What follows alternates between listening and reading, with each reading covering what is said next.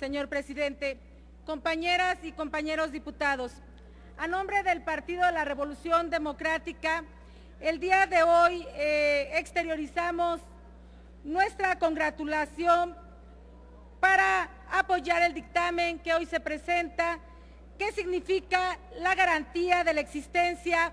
de bebederos suficientes con suministro continuo de agua potable en cada inmueble de uso escolar y que se dice en el propio dictamen con los lineamientos que emita la Secretaría de Salud en coordinación con la Secretaría de Educación Pública. Y estamos a favor del dictamen porque el dictamen que se presenta y que fue impulsado por diputados del PRI no es nuevo.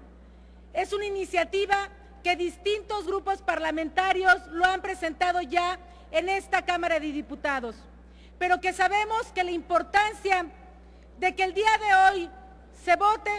es mayor para garantizar el derecho que niñas, niños y adolescentes puedan contar con la garantía de este derecho humano en todas sus escuelas. Hemos mencionado aquí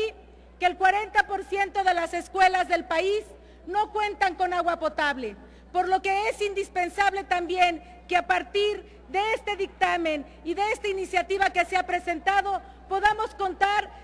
agua potable en cada una de las escuelas. Saludamos en el dictamen que vaya a llegar a cada uno de los lugares y que se dice en el mismo que principalmente se garantizará que llegue a las escuelas de más de 100 alumnos,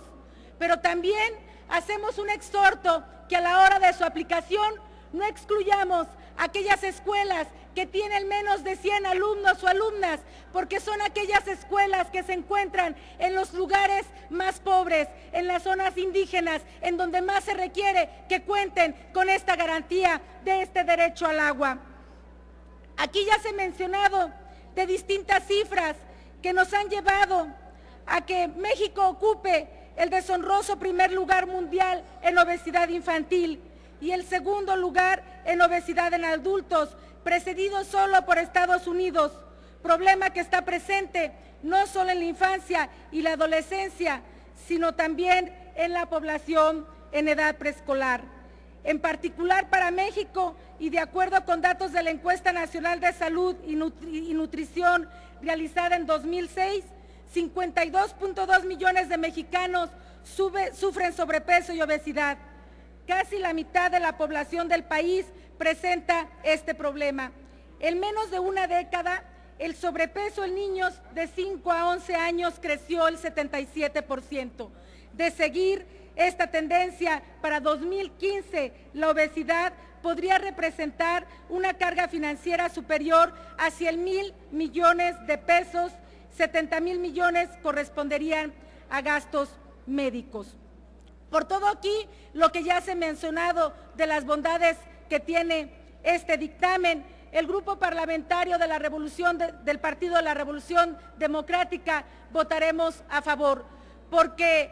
está primero el derecho de las niñas y los niños y porque estamos seguros que este presupuesto estará contemplando que podamos contar con los recursos suficientes para que exista agua potable en cada una de las escuelas y los bebederos suficientes para que los niños, las niñas y los adolescentes puedan desarrollarse de manera integral y que tengan una vida saludable. Kofi Annan, mencionaba eh, este,